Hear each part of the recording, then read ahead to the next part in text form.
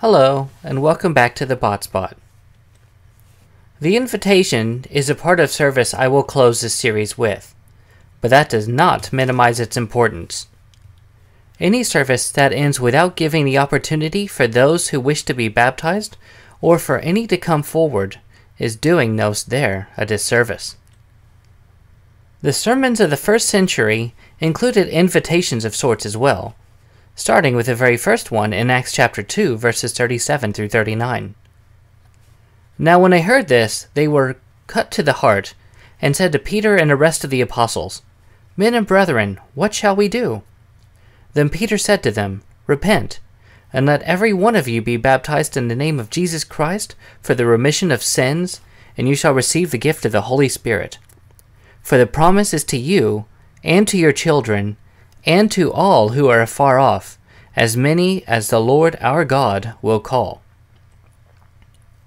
Now, if the New Testament only had examples of apostles baptizing others, one could make the claim that only they were given the authority to do so, but that is not the case. The soon to be apostle Paul was baptized by Ananias, a man who was not an apostle, and this is found in Acts chapter 9, verses 17 and 18.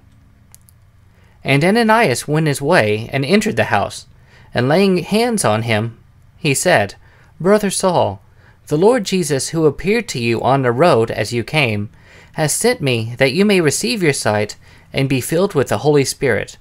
Immediately there fell from his eyes something like scales, and he received his sight at once, and he arose and was baptized. So important is baptism in the Bible that we see multiple other accounts of sermons, invitations, and baptisms as well, with another example being the Ethiopian eunuch. Now, as mentioned before, there's another aspect to invitations as well, the desiring a prayer from the brethren. James chapter 5 verses 13 and 13 through 16 read, Is anyone among you suffering? Let him pray. Is any cheerful? Let him sing psalms. Is any among you sick? Let him call for the elders of the church, and let them pray over him, anointing him with oil in the name of the Lord. And the common prayer of faith will save the sick, and the Lord will raise him up. And, if he has committed sins, he will be forgiven. Confess your trespasses to one another, and pray for one another, that you may be healed. The effective, fervent prayer of a righteous man avails much.